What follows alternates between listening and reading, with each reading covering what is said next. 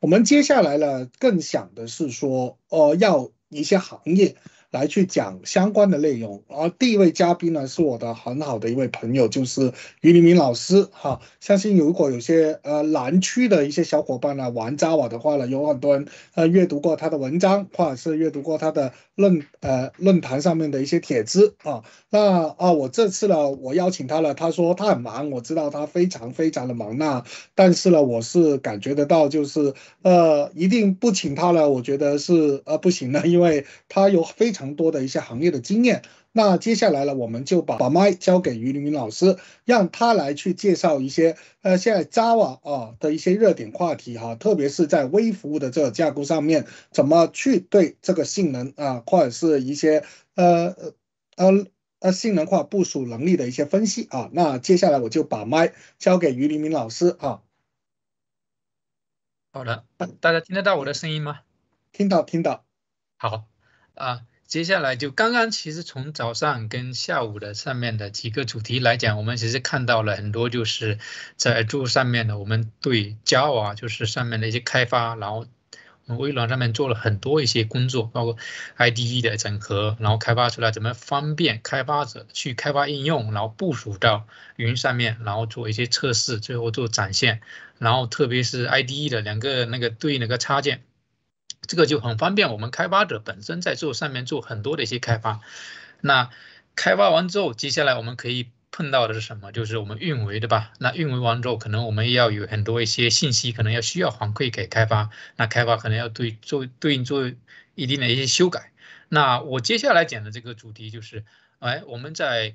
越来越多的为服务架构这种模式下面做了很多云原生的一些开发上之后。我们布了大量的应用，包括版本的迭代更新。那这个时候，我们怎么样去通过一个平台，通过某些技术搭搭建，对吧？然后来可观测性的去观察我们服务的运行的一个整个一个状态。那当然，我们。我这个主题的话，可能会稍微比较轻松一点哈。刚才上面的话，我们可能写大量的代码，对吧？然后做很多的一些工作。那我在这个上面的话，就是啊，把现在的一些状况，然后抛出来一些问题，然后大家去思考，来去做一些探讨哈。然后我对应的后面可能会做一些说，哎，我们现在达到的一些效果是怎么样子？怎么样方便我们运维的？然后怎么样方便我们开发的哈？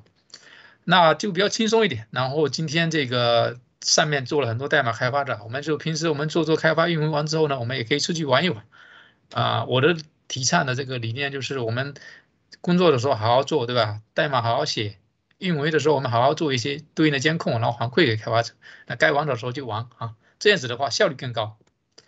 那我所提的这个大纲大概会从以下四个方面来做哈。第一个就是说。云原生跟微服务架构这种形式下，我们面临的一些问题。那现状是怎么样子的？无论是从开发者状态，或者企业本身，或者软件公司的这种状态上面来讲，是什么样的一个状态？那第二个就是说，这么多架构下面了，那我们的开发跟运维的复杂度慢慢的提升，那我们怎么样去应对？那应对的话，就引出来我们第三个话题，就是可观测性的这个平台。来针对我们这么多的应用服务，然后开发的所以那么多的系统，那我怎么样去做对应的一些观测，或者是叫或者叫做监控相关的哈？那之间的一些关系是什么样子的？那后面的话就是针对于这个上面的话，我们做一些技术性的一些探讨，那怎么样去把这些开发、运行、运维我们做得更好啊？啊，承接原来之前我分享那个话题，我又把这个云原生的。提出来，那实际上针对于我们云原生本身这个概念来讲的话，最后去落地实施下来，我们就是做了很多微服务架构方式的一个应用，对吧？那这些架构定下来完之后，中间的应用服务应用之间的话，很多是通过 REST 的这 API 进行通讯，当然有一些我们可能是异步的，对吧？通过消息 Q 啊之类的，那我们很多这些之间的通讯的话，确定了就是我们各个服务之间它是相当独立的，对吧？而且这个独立的话，它是怎么样怎么样的一个过程？它是很方便的进行部署，很方便的进行迭代更新。我一点一、一点二、二点零、三点零、五点零，对吧？包括这个 .NET Core 的话，对吧？也从这个一点零开始，现在到六点零的这个版本，对吧？那这个中间的一个迭代的过程，实际上是说微服务架构这种模式下面的话，更方便让我们的应用系统本身不断在迭代升级，然后不断的利用到我们创建好的云平台。进行弹性伸缩，对吧？然后进行这种不断的迭代。弹性伸缩，然后无论你再重启的话，你会影响别人来调你这个对应的这个服务。那这样的一个架构的话，就是更加敏捷、更加快速的我们的业务的不断的一个迭代发展。这个是微服务架构给我们带来的一些好处，对吧？那我们去落地下来这个微服务架构本身这个应用来讲的话，实际上就是我们大量的就通过容器化的部署方式，对吧？然后容器化部署方式，一个是比较快、比较敏捷，而且是。没有干扰的这种方式，当然我们可以可以通过这种传统的，比如说这个部署方式，也是可以来体现出来我们的这个版本迭代的跟进的过程。但是容器化的快速部署就是比较快速啊，一个最佳的一个载体的一个方式啊。然后包括这个搭建的这个原原生的本身平台上面的话，就是更加方便来我们部署这个对应的一个应用，对吧？然后更新我们的应用。那实际上这整个从架构。从轮机化的一个部署上面来说呢，引申出来实际上就是我们 DevOps 的一个持续交互的过程。我不断的做代码修改，对吧？业务的一个迭代，那迭代完之后，我就可能要让后端的云平台上面去自动的进行发布管道的一个管理，持续的集成我做了，然后我要做持续的一个单元测试也好，集成测试也好，对吧？然后最后去提交出来做这个部署。那比如项目经理。我可能设计了很多一些管道，这个应用部署上去的话，我提提交代码，那代码我我们直接就可以部署到测试环境，或者是到半半生产环境、预生产环境。那有些的话是需要，比如说，哎，我设定了这个流程规则是项目经理他去哎审批了，对吧？我 OK 了，然后再上上线到某一个测试系统、某一个预生产系统，最后到生产系统，对吧？这样的一个流程的一个过程。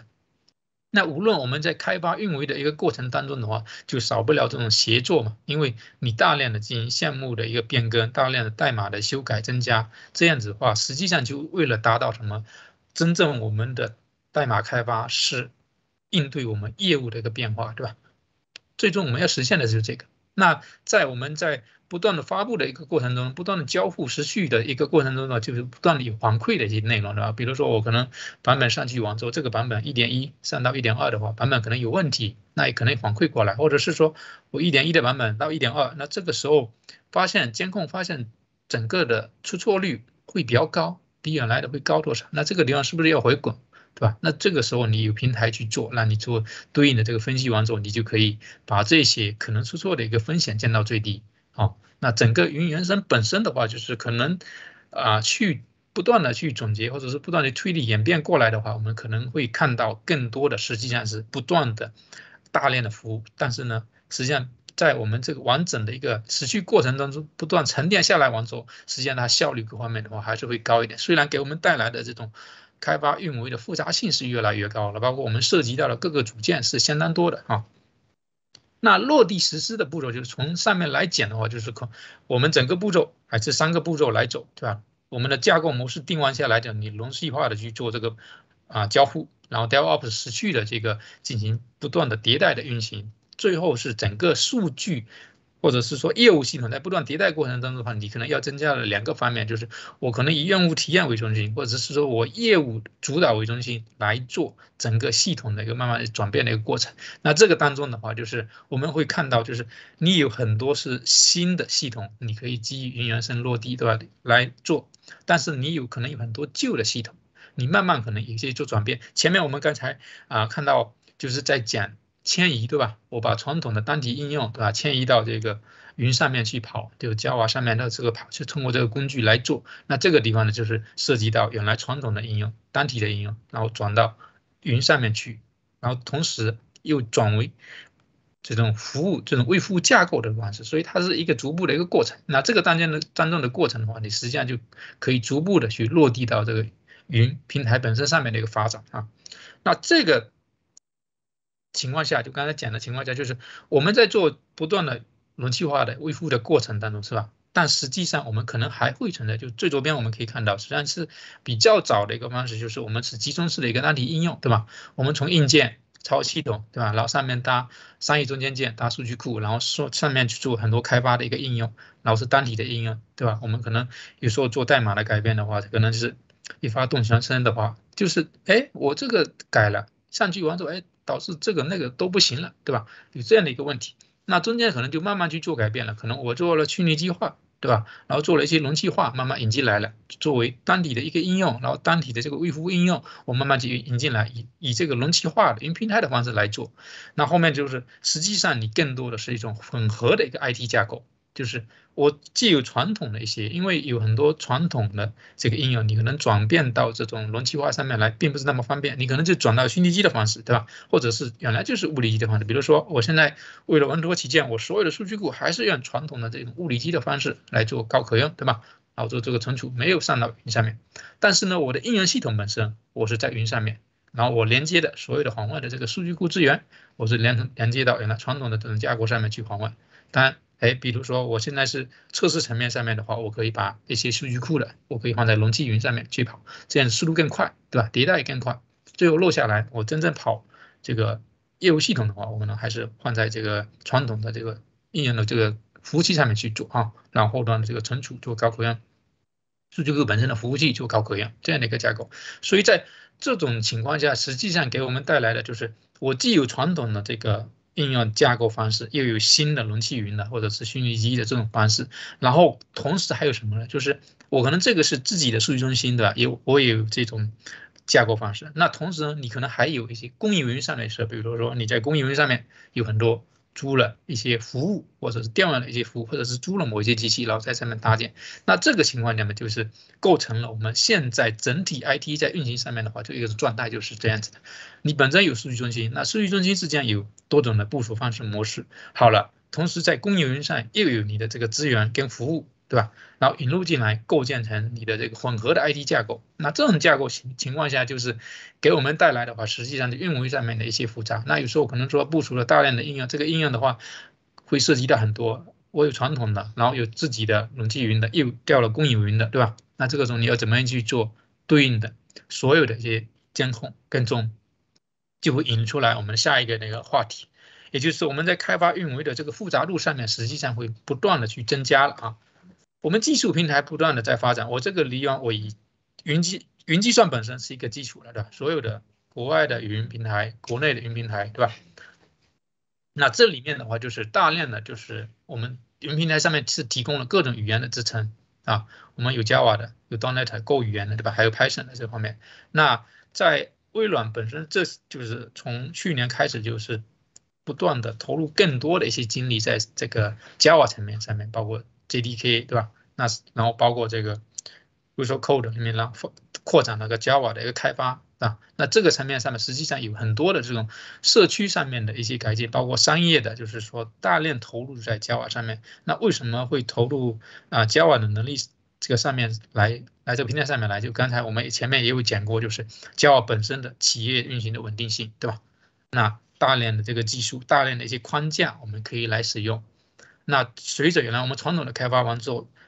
技术平台在云上面不断的去延伸过来之后呢，我们做虚拟化、做容器化不断的演变。那这个过程中的话，其实不断的推动的话，Java 本身的一个发展，对吧？框架的发展，然后本身 JDK 本身的发展，还有一个就是说 JDK 现在大家可能都会注意到，我们可能现在用的更多可能是在一个稳定的一个版本，或者失去的一个版本，就是比如说 Java 八，对吧？那后面可能有，因为 Java 不后面之后呢，就是每半年左右就发一个版本，比如说幺幺啊、幺七啊这样子一个过程。那这个时候。我们有时候可能会感觉到，为什么它发展那么快，我们也并没有用到呢？实际上就是 JDK 本身在这个革命性发展的过程中的话，比如说原来一点四点二到五点零，那这个跨越是很大的，对吧？那后面比如说你在五点零之上，比如六七八，那这个时候都是一个小步迭代的一个过程，包括比如说十一啊。十七啊，二十一啊，这个方面上面的一个版本的话，它实际上并不像原来传统的就是跳跃性的一个发展啊。那在这个稳定性版本上面，大家可能都在这个上面做了很多情况下面的业务系统的开发，所以现在的版本的话，是不是说，哎，会在八这个版本上面大量的使用？当然，逐渐的我们是说，呃，技术在不断的发展，比如说 Java 对吧？那 JDK 的版本不断发展，然后 J2 一、Java 一啊，啊 Java 这个一就是。J2E 规范也在在发展。当我们在开发新系统的时候，实际上我们也是建议去用新的一些技术，对吧？推动发展，然后新的一些规范，然后去做。包括我们现在有大量的容器云平台，多基于 Kubernetes 的这种平台做资源调度，我们也可以去使用。无论是商业的平台或者开源平台，这两者实际上是相互相成的哈。我开源跟商业的公司，对吧？那比如说 Spring 原来是框架，后来就是 OneMore Go 嘛，就是 Spring 跟框架。那大家实际上还会基于这上面做了大量的开发，因为这个框架给我们的开发或者运维带来了大量的好处嘛，对吧？我们就充分的利用这些工具。为我们的开发跟运维提供很好的一个帮助啊，所以这个是整个技术平台上面我们可能会去看到不断的发展。那我们怎么样利用好它？那各个商业的公司或者是开源的组织，包括我们个人的一些贡献者，实际上都在上面投入了精力。那为的是把这些技术发展的更好，然后同时给我们的这种开发运维提供更好的一个帮助。啊，这个时候就是微软的这个 JDK，我们就是可以直接从在微软的网站上面去。啊，下载来使用。当然，像我们平时在用的话，比如说都可以用到啊，OpenJDK、IBM 的 OpenJ9，然后包括这个微软的 JDK，会做一些啊各自的一些比较，或者是说各自之间可能有些不同。那比如说，哎，配置的这个垃圾回收的参数，做垃圾回收调优的时候，参数有些不同。那我们可以做一些对比，然后呢，性能上面做一些对比，那选择到一个好的一个啊版本，然后或者是一个基线，然后作为那个实验的过程中。啊，那对于开发者本身来讲呢，就很方便，随随时都可以直接从 OpenJDK 网站到微软的网站上面都可以下载下来这些对应那个啊 JDK 的版本啊来使用。那我们在开发的过程当中的话，刚才也有提到，就是说，哎，DevOps 这个流程，刚好我这个图也顺便讲一下这个，就是我们开发者可能就是可以很好的拿到很多这些资源，对吧？那我们在这个资源代码构建之上的话，我们实际上就会构建了一个流程。就刚才说，我可能这个代码构建流程完之后，我再自动化代码提交，那就会做编译触发，对吧？那这个编译触发的时候，有些我的这个流程是需要啊项目经理批的，对吧？有些可能是。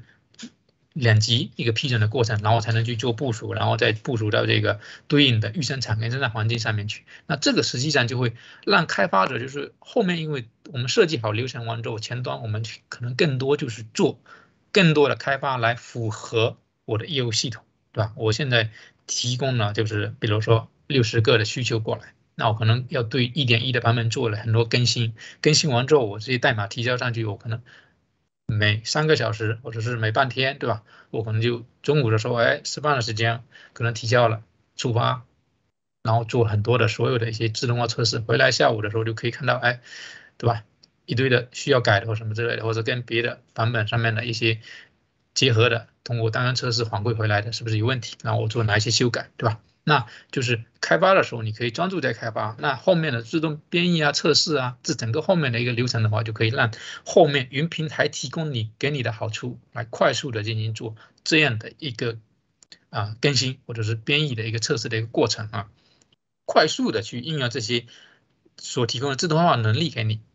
那后面，比如说你这个刚才也有提到的话，我到底这个构建的这个流水线是什么样子的？这个是根据大家各自的选愿，比如说 Jenkins，对吧？比如 GitLab 的 Runner，它这里面也可以来跑你的这个运行的一个构建的一个流水线都可以啊，包括 Tecton 啊这些啊，它这些的话，实际上就是你在使用的过程中的话，都可以根据这些对应的一个技术，然后我来选择一个适合于自己的。啊，那这个整个流水线的构建的话，其实上更大的一个目的就是我呢可以缩短中间的一个不断迭代的一个时间，把它缩短，然后这个效率去提高了。然后就是我可能就是设计好这个线路的话，我中间在构建测试的过程中的话，所有的这个出错的概率就降到最低了，对吧？这样是会比较好处的。然后帮我们去提升我们整个代码的一个质量，对吧？然后同时在这当中更新的一个过程当中的话，来。通过微服架构的一个方式，我们保证业务的连续性，对吧？我代码可能在做更新，我一点一、一点二不断的在更新，但是我业务是不中断的。啊，我云平台可以根据负载，我可以做弹性伸缩啊，这样的一个过程。所以这个是整个 DevOps 给我们带来的一个好处啊。但这个带来的好处就是说，我们可能发发布了大量的版本，对吧？我可能要做跟踪这些的话，就后面我们要去观测它到底我是不是有存在一些。哪些需要改进的，或者是哪些需要回滚的，这个都需要在整个 pipeline 里面去设计这些流程的一个处理的一个方法，对吧？我们在新一代的这个应用开发的时候，比如基于云原生大量做开发上面，那开发完之后，我们可能应用部署了很多，对吧？我我们中间大量的这个微服务架构的应用，或者是微服务啊梳理出来完之后，大量的微服务细腻度分出来也很多。可能刚开始我们可能细粒度是比较大的，模块比较大的一个细粒度，那慢慢慢慢都把它拆开了，拆开了很多。这个时候你就会有，比如说好几千个、好几百个，对吧？刚开始可能就几个、几十个，这样可能比较小，但是你随着业务的不断的发展，你这个微服务的规模数量就会越来越大了。这个时候你在运维的时候，实际上你就会碰到个问题：我这么多的一个服务，我怎么样找到我自己的服务，对吧？然后我这些服务运行状态、运行的情况是怎么样子？你这个时候就会碰到这个问题了，对吧？那碰到这个问题，实际上我们就会去想说，到底怎么样去解决啊？那第二个就是碰到这个方式，我怎么样去这么多的这个微服务架构里面，我怎么样去做这个监控？然后怎么样做这预警、什么告警、通知，或者是提前做一些预测之类的？包括结合我现在云平台下面底下的很多资源，我能能不能够去说预先做判断，是吧？我这是这我们运维跟开发之间我们一一个对应的一个需求，对吧？那第三个点的话，就是我服务之间肯定，因为我拆了很多服务，对吧？那服务之间的依赖关系是什么样子的？啊，我 A 的服务可能依赖了下面的一二三到十二十二个服务，那十二个服务他们的状态是怎么样子的？我调用他们的时候。成功率是多少？失败率是多少？对吧？那这个时候你要做一个统计分析。哎，为什么那个服务一直回来的话，别人回来是小于十毫秒，他回来就是两百毫秒？这个时候你就会怀疑他的服务为什么有问题吗？是不是里面服务没有弹性伸缩啊？为什么这么慢啊之类的，对吧？那服务机服务之间的这个依赖关系就影响到你的业务，对吧？那这个情况下，你可能要去看一下那个微服务是不是有什么样对应的问题。那看系统平台能不能提供给你什么样的帮助，对吧？那第四个部分就是我们不断的做 DevOps，不断的频繁做代码迭代，啊，不断做做这个发布。一个是我们为了满足我们这个业务需求变化的一个过程，另外一个是什么？我们可能碰到很多 bug 了，的？bug 我们要做修改啊，保证这个质量。那这个时候你你也要去看我上一个版本跟下一个版本的中间。这么多的迭代的时候，会不会存在说，我更新了一个版本，可能引发了更多可能系统的一些问题？那平台里面能不能把这些数据给我抓起来，完之后我可以做对应的一些其他行动的一个判断，对吧？还有一个，我们很多这种数据过来，不同的服务过来，或者是说你也调用了第三方的一些微服务，那这些的话会拿到很多数据，比如说我现在最基础的是什么？我底层的。硬件的对吧？虚拟机的各方面的数据，包括 K8s 底层的一些数据，对吧？那你可能还有中间件、数据库的，还有消息中间件的，还有第三方调用 API 的一些数据。这个时候是不是需要说，哎，我如果是一个服务、一个业务系统的话，这些整合起来，我能够快速的看这些对应的一些内容，那那就比较方便，我就很很方便的说，哎，分析说我这个业务系统跟哪些关联，然后各个关联之间的状态是什么样子的，对吧？那这个是不是？哎，我就需要一个这样的东西来为我的所有的应用系统这个开发，然后运维过程中能提供这样的资资料给你哈。最终就是我们如果是运维的过程中的话，最显的是什么？除了监控这些信息完之后，我们还要去定位到问题，最后把这个问题精准到定位到某个地方，然后去解决问题。那这么多的。微服务对吧？那我可能很多关联的，我怎么样去迅速的定位到它？我可能只能一个一个去挖。那如果平台里面有这些数据的话，我可能很很快的去定位到这个啊存在在哪里问题，然后呢，我可以找到对应的方法，立刻去做一个恢复，对吧？然后平均这个发现定位的时间是越短越好，对吧？我一下子就定位到问题，一下子我就知道说这个地方该怎么样去解决，然后赶紧去做对应的一更改完之后去马上做发布跟迭代的一个过程。所以这个六个大方面存在的一个问题的话，实际上就是我们在应用不断的做开发、运维的一些过程当中的话，所带来的一些挑战，对吧？那这个挑战我们怎么样去对应的一个做一个解决，或者是说实际上我们要怎么样去做解决会比较好，或者是解决我们这个对应的一个问题呢？那我们就是会引入到可观测性这个平台来做，哎，它对应哪些能力来帮我完成这些对应的一些功能啊？那可观测性，对吧？我们我配的这个图就是说，我有很多服务器，有很多数据中心，我人可能去做监控，对吧？那这个监控的话，肯定是要采集对应的一些内容啊。就是我在啊仪表盘整个外面，我是看到很多数据，对吧？然后去观测整个系统之间的一个内容。那可观测性本身的一个定义呢，它是这么定义的，实际上它就是我大量的有外部的，就是系统有很多外部的输出，对吧？输出的一些内容啊、信息呀，对吧？然后呢，通过这个外部输出的这些信息来推断我系统本身内部是什么样的状态。啊，举个比较简单的例子，就是大家在装修房子，对吧？装修房子可能有水电，对吧？各个管道什么之类。好了，那我现在判断，包括灯、网络、水管，可能有发生一些异常现象，对吧？那这些异常现象是什么呢？就是哎，我灯是不亮了，对吧？我网络是不通了，对吧？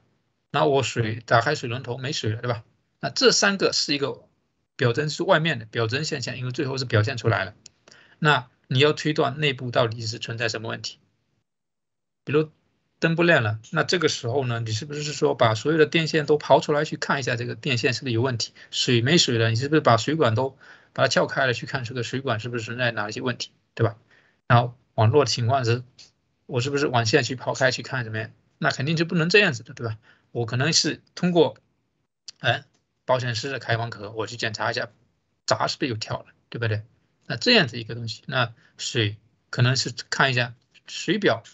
那里面有没有对应的一个走动或者相关的一些信息提示给你，对吧？那通过这些的话，实际上就是。外部表现出来的话，我这通过这个数据要知道内部到底是存在哪一些问题，水管堵住了，还是水管真正是没水啊什么之类相关，就判断这样的问题，就观测到我整个里面的系统是不是存在哪一些问题，或者是说同时通过这个然后进行判断。所以可观测性的话，就是我通过外部的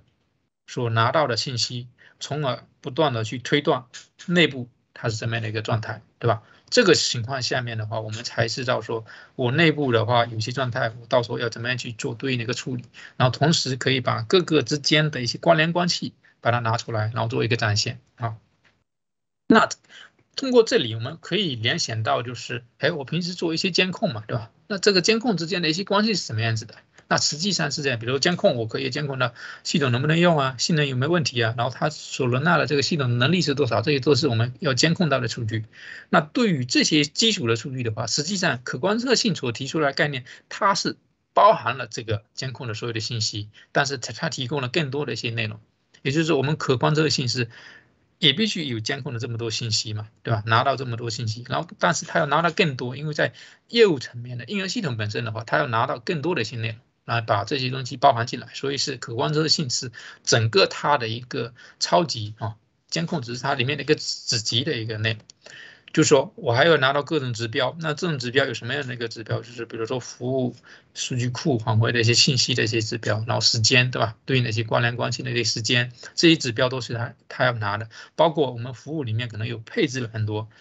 定制的配置的一些内容，比如说我配置了很多，比如应用服务器之间的线程数啊，对吧？它内存啊。我是配置了一些这些对应的指标，那运行的时候那些指标是要跟它进行匹配的，是不是有超过？比如说我线程是五十，这个时候我的并发可能是六十、一百，这个时候你就超过了你的所设定的这个五十的这个指标，那这个时候它得观测到大量的请求进来完之后，你的这个线程不断的在增加，对吧？那我这里面就会预警给你说，你线程可能要再再调上去才可以，或者是触发云平台本身再把这个服务再多拉一个服务出来来应对。更高的一个并发请求过来，那这个是一个指标数据上面的一个关联关系。那第二个就是跟踪，我应用服务之间的话要进行串联的，很多微服务架构的话就是 A 的服务可能掉了七八个的服务，那中间的话我要跟踪起来，包括服务一，包括数据库，包括消息的，对吧？那这些呢，可能有些是，而且是 Java 开发的，这边是 .NET 开发，这边是 Go 的，有些 Python，那这些可能都要。联合起来进行开发，有时候我们的开发可能是一个单一语言或者单一个平台的话，可能更更好去做。但微服务平台架构完之后，就跟平台语言这种无关化了，然后更分散了。这个时候你的跟踪可能就会碰到更多的一些啊难度跟压力，对吧？那这个时候我们就得需要把这些怎么样串起来的一个跟踪，就要把它跟踪起来，对吧？那最终我们还要针对于我们系统。为服务架构系统所产生的很多的日志，那日志里面可能我们有不断的一个，有些是信息的，对吧？有些是警告错误的。那这些信息的话，都需要拿出来展现给运维人员去看。可能在某个点，它实际上是发生错误了，包括一些异常的信息，这个都拿出来。所以在整个层面上面的话，监控的这些数据信息，包括可观测性的，就是用户本身的这些所拿到的一些信息完之后，组成了整个可观测性它需要得得到的一些数据，然后最后最后做一个展现出来。所以之间的关系是可观测性的话，所包含的内容是更多。那实际上，比如说监控本身它是监控了现在运行时的一些状态，可观测性可能就是运行时的，然后更多的后面就是更在提升一步的话是什么？就是我可以根据现在的一些数据跟历史的数据做智能的预预预测，就今后可能会存在哪些问题，然后做预判，然后给你一些对应的一个建议，对吧？那就往通过这些数据拿到完之后。更往上一层了，可观测性上面去，往智能的运维上面去提高一层。那我们再提到的话，一点就是我们刚才说的，我要怎么样去自动的去发现我们的服务之间的一些关联关系啊？那我们的需求就会这样的一个目的了。我们现在构建的系统，从主机啊、容器啊、中间件啊上面的 Kubernetes 集群啊，然后上面为服务之间，对吧？那每个组件。它就是我要通过这个来发现，对吧？发现完之后呢，我才会说这个服务之间的关联关系是什么样子的。那你能不能够平台能不能提供这样的一个持续的一个能力，对吧？我从底层一一连串过来，你最终的服务的话，我就可以帮你去拿到这些对应的这个发现服务之间的一些关系啊，然后尽可能的我是不需要做这个配置的更改或者是什么代码修改，但是我就可以拿到这些服务之间对应的一些关系。啊，包括你对基础架构的一些监控，然后拿到的数据编排哪些数据，那你可能就是尽可能的就不会去影响它。我现有的可能性能在跑，但是我可以动态的去拿到这些配置，动态的拿些这些信息，然后我可以自动的发现所有的服务，然后把这个监控信息组装起来，然后呈现给最终的这个用户或者最终的这个运维的管理人员，包括开发人员。所以它是要持续的一个过程，然后把持续的这个变化数据都拿起来。然后把这个自动化的监控关联起来，然后呢，他需要拿到的一个请求是怎么样子的呢？我用户请求过来，我中间对他来讲的话，里面的系统运行是黑盒的，对吧？但是呢，我所有的这些数据过来的话，你的可观测性平台的话，应当是说每个用户请求过来的话，我是都可以拿到这些的一些数据。每个请求过来，然后每个请求在不同的服务之间，它所耗用的这个时间是多少，对吧？那这个时间的话，就是我要拿出来，然后你每个服务调用的一些关系，然后达到是多少，对吧？有没有出现错误，返回的时间是多少啊？然后对应各自的那个服务的关联关系是什么样子，就会都拿下来。而且这个地方的话，就是我们可能会碰到比较多的话，我们可能就是定点采样，比如说我每一分钟采样一些数据，对吧？然后每每个数据之间，我可能就采了多少？比如说，呃，十个里面我就采一个，或者采模两两个、三个。那如果是说，呃，对整个可观测性平台来讲的话，实际上它是要求是说我把所有的这个采样信息都拿到。这个时候，它对所有的信息进行所有进行关联分析的话，它最后展现给用户的话，运维人员的话是比较全的一个数据啊。所以是自动去追溯我们用户所有的一个请求，所有的调用关系啊。而不是抽样的一些关系，就是百分百的覆盖。然后这样子的话，就是比如说 A 用户可能过来，他这个请求可能正常的，然后你采样的时候，哎，采到 A 是正常的。好了，有个 B 用户过来，可能刚好 B 用户过来，所有的这个请求过来的话，刚好他是有问题的。这个时候你没采样到的话，你实际上就是错漏了一些问题了。所以为什么是说要百分百覆盖？它实际上就是这样的一个概念，它把所有的数据都采下来了。那你做监控的时候，做分析的时候就不会遗漏掉这个问题啊。啊，这个记录的话，就是我们在前面也会讲，就是说我平台的话，最好是说我没有去更改配置，没有去更改你的应用代码的时候，能够把你的这个所有运行的过程都会追踪下来。所以在运行动态的这个整个微架构平环境下面来的话，我们可以需要完整的去跟踪。所有的，然后记录所有的这个微服务之间调用的关系变化啊，这种就是每一条的一个信息，我们都需要完整的把它采集下来啊，对应跟踪掉每一个请求啊，但是不改代码。比如说我跟踪你的 Java 的，我是不是要改你的 Java 代码？跟踪你的 Python 的，跟踪你的这个 Ruby 的 Node.js 的这个地方的话，我如果对应的所有的系统里面，我可能还要去嵌入去改这个代码的话，那实际上就会造成很大的一些困扰，对吧？肯定要通过框架，通过一些对应的一个技术来完成这样子。我这个系统在跑，但是呢，我不需要说啊，对你的系统进行更改的时候，我就可以收集你所有的一个记录过来啊。所以第一个是说，我是百分百的把你所有的这个请求都收集了，不会错漏，对吧？这样子的话，就最终反馈出来的信息是会比较准确的，比较正常的，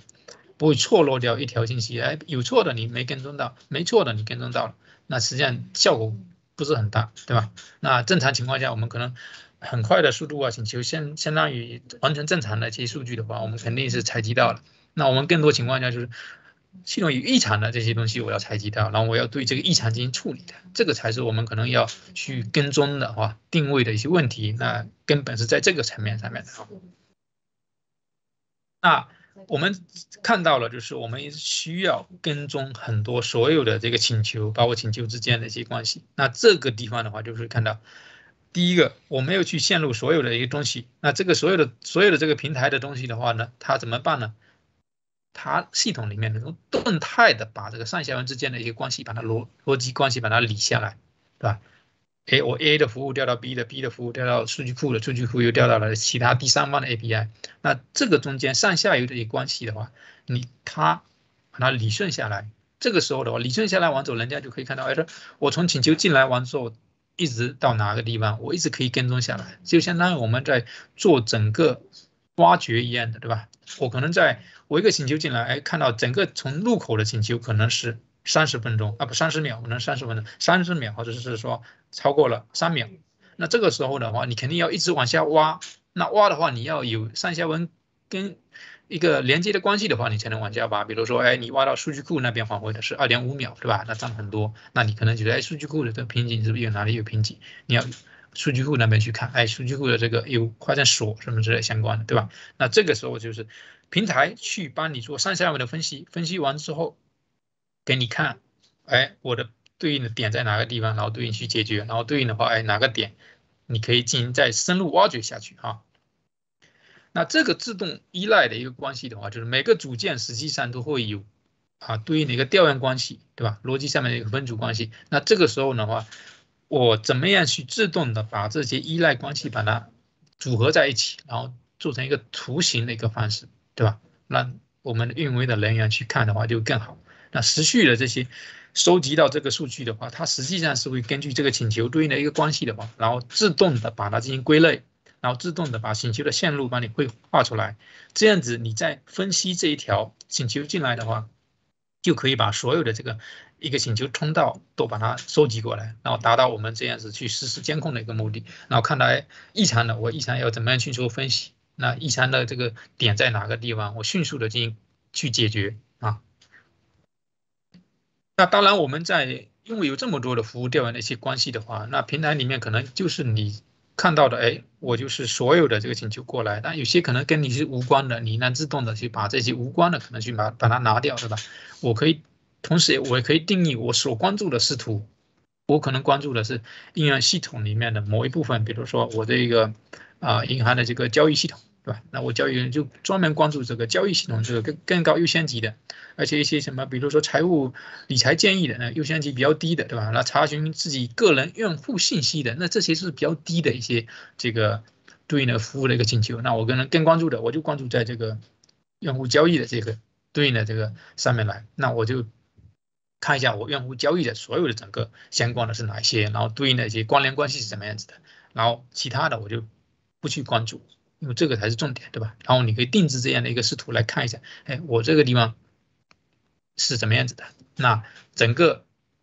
业务的一个系统里面关联的哪一些关系，在哪个点上面可能存在问题？比如说我们图里面，比如说，哎，有个地方发生了这个过来是五百的一个错误，比如说 Java 应用服务器，对吧？往回的五百的应用错误，那这个错误的话，它就哎看一下占比是多少，看一下这个时间段是，哎，刚好是九点上班高峰时间，哎，发生错误，或者是下午，比如说。两点上班高峰期的时间，那这个时候你会可能会去重点去看，说，哎，为什么在这个时间点会发生错误？那其他的时间点没有发生错误，是不是由于啊，服务器上面的负载量过大什么相关的，然后它对应的你可以进行深入的挖掘进去，对吧？其他跟无关的你就刚好就错开，所以根据这个时间段，你可以选到自己的很多的一些对应的一个信息，对吧？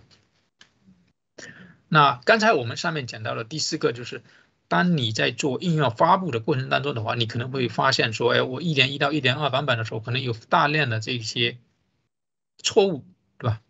或者是延迟的一些事故发生。这个时候你就会看到，哎，我通过这个失去集成的时候，版本不断迭代发布的话，对我业务系统是有影响的啊。那这个情情况下，你就要注意说，哎，我是不是需要回滚啊？是不是需要做这些东西？你因为有了这些数据完之后，就会提供给你判断，对吧？我们没有数据的话，我们做更多的一些判断的话，就是无从下手，对吧？我哎一点我一点一升到一点二，我就升级上去就可以了。但你发现以后面不断不断的有问题的话，可能引入了某些 bug、某些问题之类的，那。你可能就要迅速做判断，说是回滚回来，或者是下一步的更改完之后再上升到一个一点三的一个版本上面去。这个时候，监控平台可观测这个平台里面带来的这个数据收集，因为它可以跟你前面的一个进行对比。前面比如说一点二版本下来，我的错误率或者是延时率什么之类是很低，或者甚至是零，对吧？好，你上来一个新版本下来，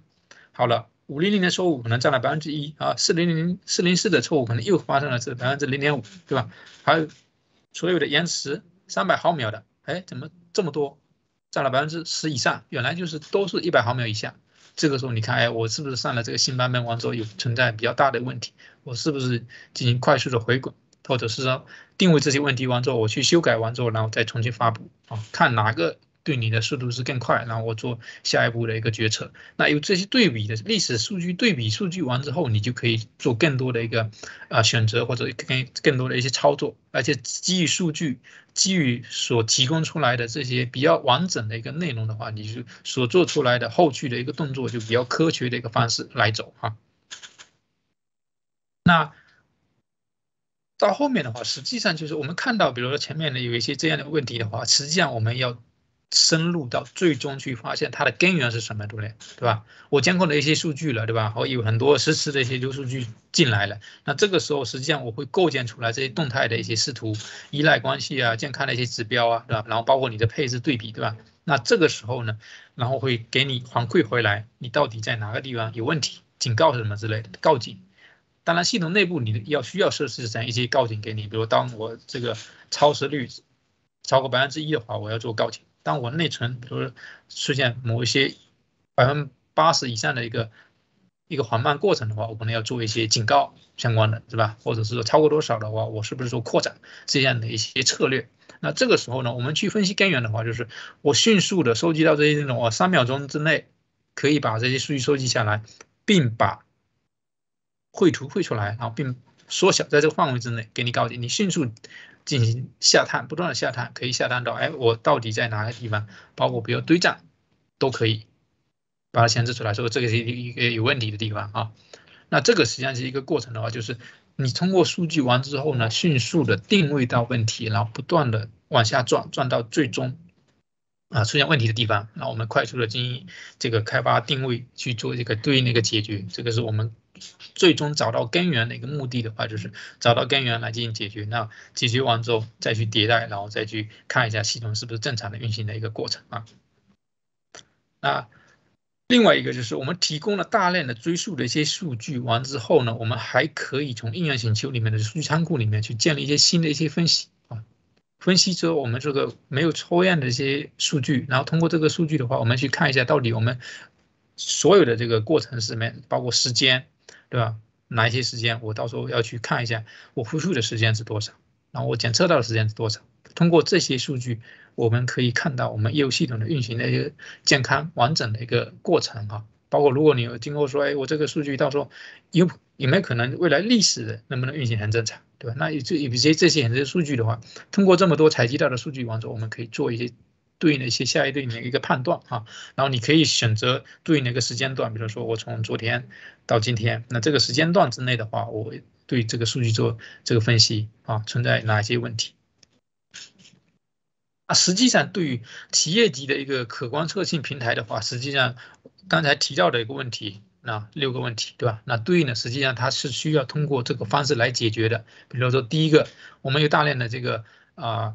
服务，那我要自动去发现，然后对吧？然后形成这个监控，然后自动去监控数据，然后我自动的把它可能原来的这种配置的信息我拿过来，对吧？那最后它运行时状态的信息拿过来，所以它是包括两部分，自动发现是两个部分，第第一个是自动发现我所有的这些采用到的一些技术，比如说你底下的从硬件开始，对吧？虚拟机开始，然后你的整个容器云平台的一些对应的信息开始，那对应的这些信息的话，它以你的配置信息，对吧？它可以拿过来，然后呢，你运行时的状态的信息拿过来，那这两个的话是形成了一个自动发现的一个过程，但中间的话可能不需要做更改，或者是说不需要做任何的一些代码修改，可能做一些简单的配置，为了更周全的拿一些数据，对吧？那第二个部分就是我们本身可以通过。定制化的视图或者是默认的一些视图来看整个的微服务之间的一些关系。那看板上面可以看到很多一些告警啊，很多环卫的这个业务是不是有对应的一些错误啊，包括超时啊什么相关的，包括你所耗的这个 CPU 内存的资源的一些状况，对吧？那第三个就是关联关系之间的，就是上下文依赖关系，各个服务之间的依赖关系是怎么样子的？然后包括我们业务平台在不断的版本迭代更新的过程中的话。发布一个新版本，部署一个新版本，这个时候能不能得到一个及时的一个反馈，然后及时的对比上下版本之间的一个存在运维中间是不是有不同或者存在问题？那我们全面的进行分析解决。有问题的话，我要怎么样应对哈？给你一个对应的，采取一个行动的一个数据上面的一个呈现。我有数据了，我我对应的做行动就好了啊。所以后面的话就是说。我碰到问题的话，他帮你把整个数据收集完之后回来，那提供了最专注的一个点，然后你通过这点不断挖掘下去，说，哎，这个有问题存在在哪里？那我这个问题的话，我就可以对应的对应的解决。所以它从自动划线，然后包括服务之间的编排串联关系都帮你做起来了。最后有这个这么多的数据完之后，它可以做所有的一个下面的一个行动的话，给你提供参考。那因为它在整个渴望这个平台的话是百分之百的收集这个数据，这个数据完之后，你可以根据时间段来分析，根据时间段来预测，说，哎，我今后可能要做哪一些行动，就有了数据的依据，你可以做很多的后面的后续的一些动作，达到了一个比如说人工智能的上面上面的一些运维的管理的一个方式，慢慢，因为只有这些数据给你了，然后你就可以更多的做一些运维上面的一些操作。那这里面我讲一个事例，大概是说我们在 G2V 应用本身这个全链路上面监控的话是什么样子的东西啊？那比如说我们从基础设施层开始，那实际上就一层一层往下走，对吧？我们应用服务器本身的话，Java 或者 Java 一应用服务器在运行，你离不开整个底层的一个系统资源。第一个，我应用基础设施，我可以知道说我所在的这一台它的应用本身的情况是什么样子，你都需要知道，对吧？我设备在哪个地方运行是什么样子的一个服务器上面去，然后服务器的芯片啊、什么内存啊那些东西，你其实都可以拿到对应的。我真正要完整的往下去探这些信息的话，你呢系统的可装设平台就把这些数据都拿出来了。那应用基础设施完之后，再上一层就是我这个节点里面某一个信息，比如说你可能是一个虚拟机的一个方式，比如说是一个物理机一个容器方式，那这个都是可以拿到这个节点，比如说无节点。或者是说你虚拟机这上面可能是装了一个什么样的一个虚拟机，对吧？CPU、内核、内存、利用率、内存、网络、操作系统本身这些信息也可以拿过来，所以是一层一层往下走。那这样走完之后呢，你在上面去跑了应用服务器的话，就是整个 JDK 了，对吧？GOM 的这个进程了。那 GOM 就是可以涉及到，比如说你本身的配置、内存了、垃圾回收了，对吧？那这些信息都可以在上面去拿到，包括。垃圾回收本身的一个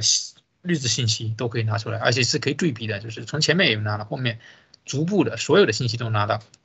那在虚拟机上完之后，实际上就是 Java 一的应用服务器。Java 一应用服务器涉及到的就会比较多了，比如说你的容器的一个线程池的这个大小，最大多少，最小多少，然后当前是多少，对吧？然后你 Web 的本身请求这个 Session 的个数是多少？然后 Java 一部署上面的这个应用包的大小。个数啊，什么这些是多少？包括你里面可以更深入的去挖掘，说你到底部署了多少个微服务，对吧？那微服务可能还掉了，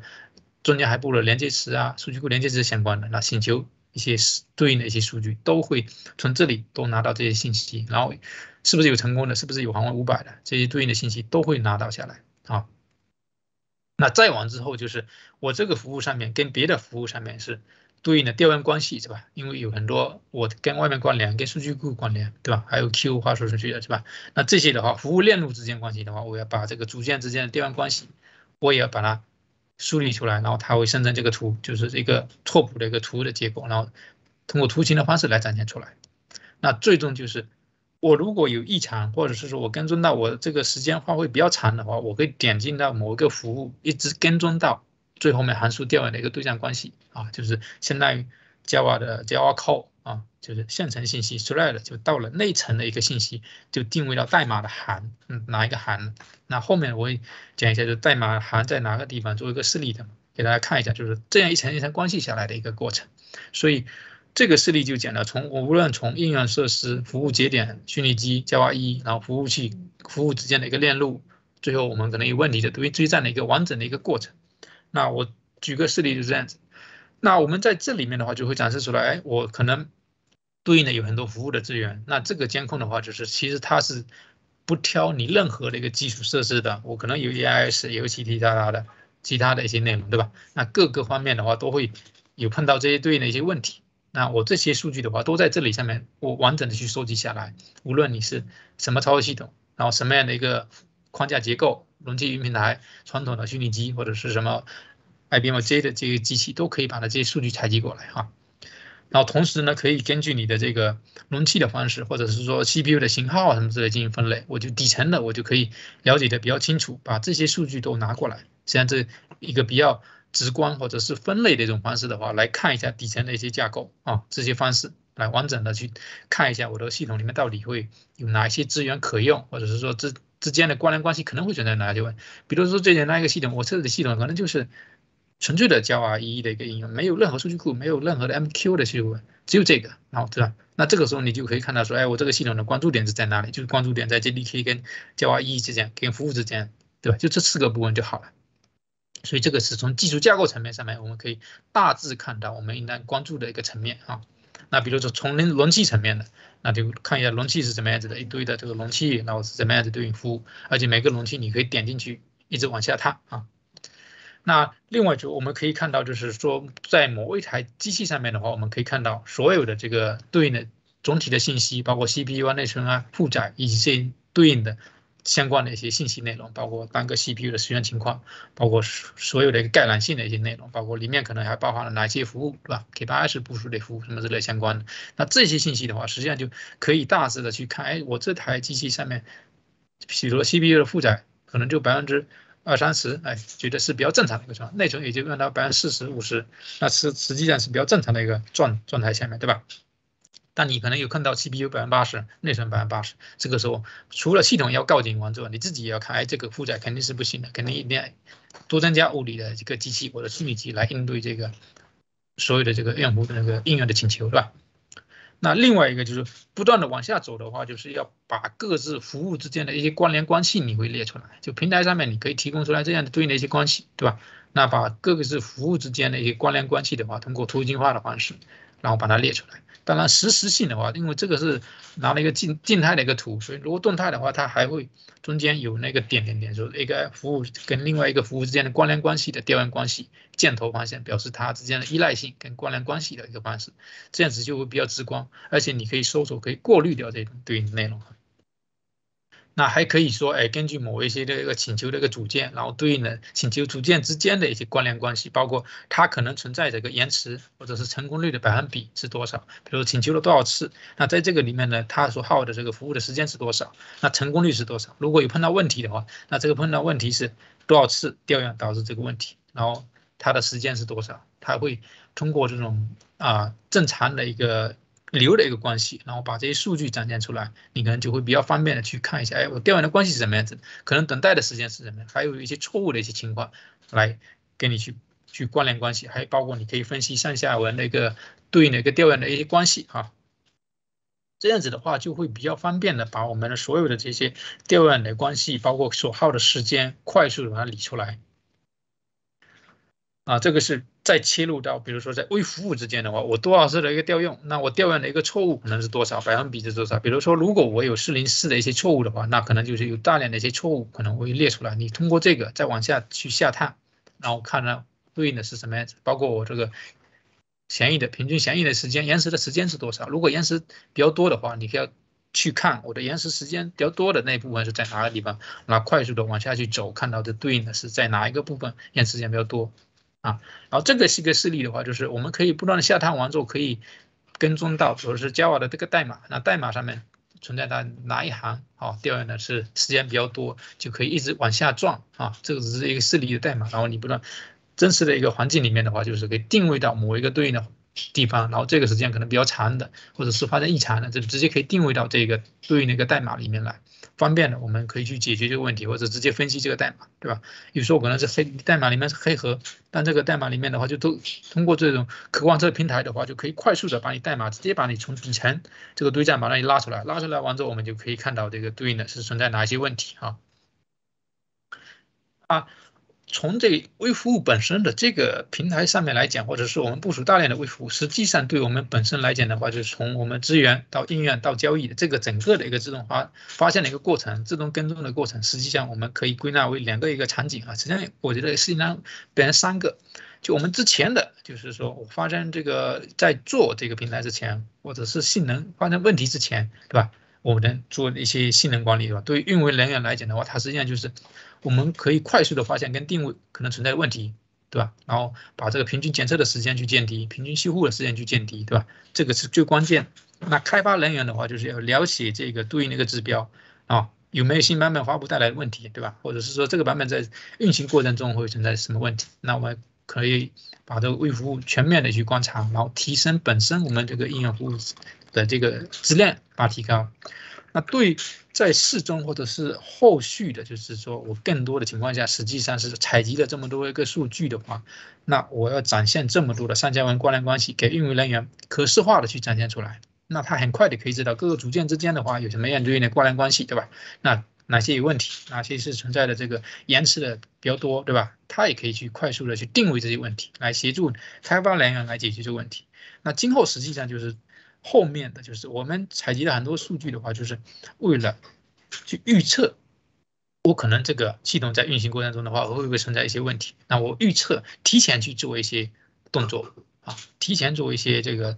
前面的，比如说你资源也好，代码的资源也好，什么之类的。因为根据你所有的请求过来完之后，它有个趋势，对吧？根据这些趋势的数据，你肯定有很多各种不一样的一些算法来。可能要模拟出来说可能会存在问题，那我提前去做一些预警，然后提前做采取一些动作，让这个可能发生的问题直接就消灭掉啊。这个实际上是我们最终我们运维跟开发想做的一个目的，就是这样子。我们提前把这些可能碰到的问题提前消灭掉，不会在后面生产环境上面出现啊。所以就是要求我们这个可观测平台的话，就有这样的一个目的，就是把所有的这些东西的话全面的进行监控。啊，全站的，然后速度又比较快的，又可以智能的就把这些所发生的问题把它串联起来，然后最终有问题的话，快速的帮你定位下来，你可以很方便的让运维跟开发人员进行找到根源进行解决啊。那我们讲一下这个，我们探讨一下传统的就是监控软件跟可望这个平台的一些对比。传统软件本身来讲的话，可能我们监控的话就是会安装部署上面可能就会比较复杂，以及对代码对配置的侵入性。还有就是可视化能力上面有些有些，比如说它要生成这些看板啊，然后关联关系啊串联起来这些的话，可能就会有困难，包括可能需要开发者去做一些开发，对吧？然后历史数据的监控的一些数据可能也没有做一些串联的一个关系，对吧？然后本身的话是比较静态的一些体系结构，没有去动态的去把这些服务关联起来，那用户体验上面可能会稍微弱一点。那实际上对于可观这个平台的话，它实际上就要要求更高，就是说我一个客户端的话，可能我有做。一次部署完之后，我就可以监控到所有这个平台上面或者这台虚机上面所有的一个啊所观测到的所有的服务的能力啊，那完整的端到端的整个跟踪能力就串联起来，并不是说这个哎我就查看数据库啊就去查看中间件，对吧？没用的，我要很多业务之间是多个业务之间关联关系的，我要把这个端到端的跟踪能力用起来。那对于运维的人来讲的话，就是不会去干预这个系统啊，我尽量少的一个配置。然后就可以了，或者配置，默认就可以把这些数据抓过来。那还有一个就是全链的整个链路的一个数据跟踪下来，把它记录下来啊，然后动态的一些分析这个对应的一个内容查看，然后去增加这个用户的一个体验感，是吧？因为现在我们的 UI 整个设计技术上面越来越发达了，大家对 UI 操作上面的一些要求更高了，也就是说我们这个东西比较丰富了，大家吃的这个嘴更刁了，所以要需要更好的一些内容去提供给用户啊。那最后的一些相关的一些讨论的话，就是我们自动的去发现、自动跟踪这些问题，来识别这些东西的话，实际上就为了有人工智能的一些能力来分析我们的这个问题可能存在的一些问题点，然后消灭在萌芽的状态啊，提前预知。那采用这些能力的话，实际上就是为了把这些运行时的状态可视化管理，对吧？然后来监控复杂的一个应用跟软件服务。当然，这里面一个要求就是，我们无论在公有云、私有云或者本地部署，所有的这些环境下面都能够有这种能力哈。就刚才讲的混合云状态下面来观测所有的东西，那对这个平台来讲的话，就会提供这样一个更强的一个要求啊。不仅仅是说微服务，那还有传统的部署的话，你也要拿到这些对应的个数据，然后进行分析，把这个关联串起来，然后解决我们这个可观测的一个能力哈。我们可观测平台本身的六大核心能力就。再是讲一下这个对应的，就是对于任何我们一个可观测的平台，那我们必须具有这六个能力来为我们赋予服务的架构上面，或者是传统所有的这个复杂的这个 IT 混合架构的能力上面做一个观测的一个过程，然后把它展现给我们的运维者跟开发者哈。那回顾一下我的内容，就从这四个部分给大家进行分享，看大家有没有什么问题，我们可以做一些探讨。老师的谢谢大家分享啊。啊，因为接下来呢，我就想代表小伙伴去问一些问题了。第一个就是在这，在你去做很多的一些 Java 的项目的时候，有什么东西你认为是最重要的？因为现在我们都在去迁移到云云原生，迁移到啊我们所谓的这种多云的服务，你觉得哪一块是相对来说比较难的？啊，比较难的，实际上存在有两个层面，就是说。最终去定位它的这个根因，比如说我可能最终运行的这个业务系统，对吧？那业务系统可能有很多个关联的一个点，那个关联的点，我们可能，哎，我们外面的表现可能就是，哎，我这个请求过来就比比较慢。那这个大家要慢的话，就是要分析底下那么多东西的话要去分析，那这个时候就会比较头痛的话就在这里。为什么我进这个系统，然后发展比较慢？那大家从从各个点上面去分析，比如应用服务器分析，JDK 本身的是不是有垃圾回收问题的，还有个第第三方，比如数据库关联的，对吧？那这些的话就是关联起来的话，大家会觉得，哎，Java 一应用服务本身在这个就会给我们带来的比较大的一个难点，就在这个地方。那这个地方的话，就是如果我们有这样子的一个平台给你，那迅速的把各个点上面的数据采集到了。这个时候我们分析起来就比较简单，哎，有了这个数据，对吧？那有这个数据完之后，我就知道说，在这个数据层面上，我去做对应的一个解决。那举个比较简单的例子，就是，哎，我一个系统进来，有大量的用户反馈说，哎，就是页面上面告诉你这个发生错误。那这个错误其实比较简单的话，和和刚刚平台里面拿到了，就是看到有大量请求过来是四零四的，对吧？那实际上很简单，这个页面就不存在了。那可能就是这个版本你在发布的时候，可能把对应的某个链接所暴露的这些东西是不存在的，你把它暴露出来，那用户哎照常要访问这个链接，那存在这个问题，那可观测平台一看就可以知道说这个文件不存在。好，另外一个就是比如说哎，用户进来说大量的一个超时的一个嫌疑，那这个时候超时后面平台里面是不是可以抓到最底下的 Java 堆栈里面看说哎这个超时是三百毫秒，那我们有有了这个数据完之后，开发者或运维者就知道说哎我在这个地方重点去解决这个。Java 代码的一个问题，对吧？还有一个，比如说是后台出现错误了，比如说五零零五这样的一个错误，那平台上面收集到全，因为是全链收集的，它把这些全链收集的数据直接就展现给你，那你一下子就可以缩小到这个时间段，然后这个时间段一拉出来是说对应的是哪一些请求，然后哪一路请求过来，代码在哪里，不断的往下撞完之后，你就可以把这个问题缩小完之后，针对性的进行解决。所以 Java 开发可能。难点的就是说，你在做疑难问题去解决的时候，它如果是单点，就是哎，我这个没有跟其他关联的话，你可能比较简单；但是如果是跟其他很多一些关联关的关联关系起来的话，你可能就会比较复杂，就会一步步下探出来完之后。那有平台来做这些数据收集完之后，给你的信息完之后，你的下探能力就更强了，更快的去找到这个问题的根源。嗯，在传统行业里面，其实有很多的用户，像于老师刚才提到的 Java 一一呃，都一直在用。但是呢，你会发现，就是现在包括今天我们讲 Spring 啊这些框架呢，可能相对来说比较轻。那这个时候，企业肯定会去考虑说，把原有的 Java 一的框架会不会去做 Spring 的迁移了？于老师有遇到过这样的一些故事吗？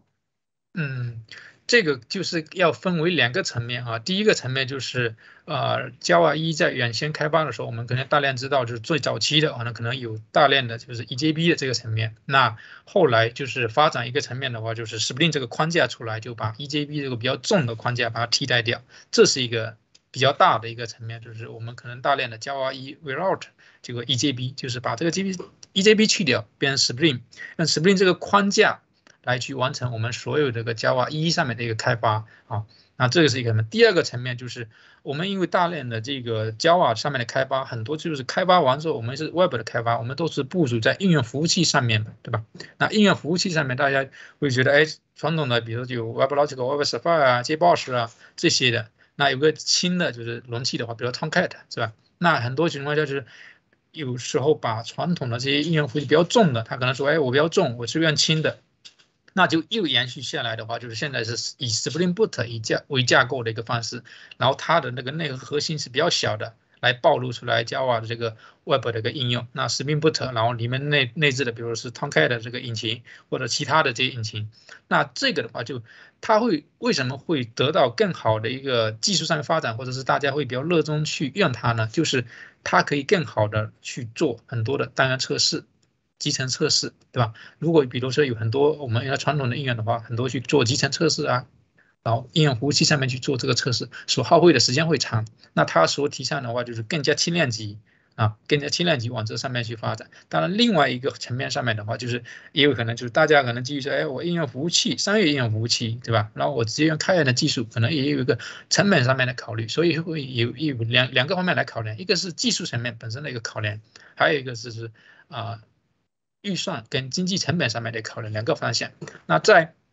企业级往上面去走的话，很多实际上是会两条线并行，就是因为企业那个传统的行业或者是说做这个开发的时候，它是迭代的，就是沉淀了很多应用。那这个应用的话，不断在往上走或者更新的时候，就特别是在更新换代的时候，不是引引入一些新技术的时候，他就会看到，哎，我这个引进去的这个新技术能不能提高一些生产力之类的，对吧？那你他一般会两条腿走路。哎，我有一个版本可能是在传统上面走，然后另外一个版本可能在慢慢新新量级的上面慢慢去靠。哎，我觉得这个验证过去是不是比较靠谱？哎，靠谱，我就把它移过来，然后一个迭代的一个过程，就混合架构形式下面不断的往上走。那从技术层面上面来走的话，实际上大家就会看到，我们用新的一些版本，用新的一些框架，给它带来的一些生产力的提升的话，大家还是比较乐意的。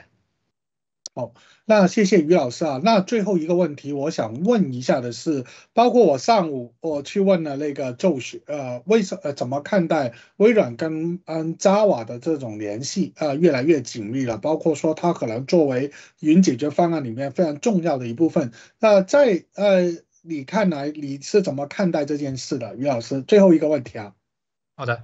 哦，我觉得这个是呃，大家可以知道，就是微软在所有的开发的 IDE 这个层面上面，就是能力是相当强的，而且就是在使用就用户体验各方面是相当强的，这是一个呃比较好的一个入口点，就是说在开发层面，对吧？那我们大量的一些开发者实际上就是要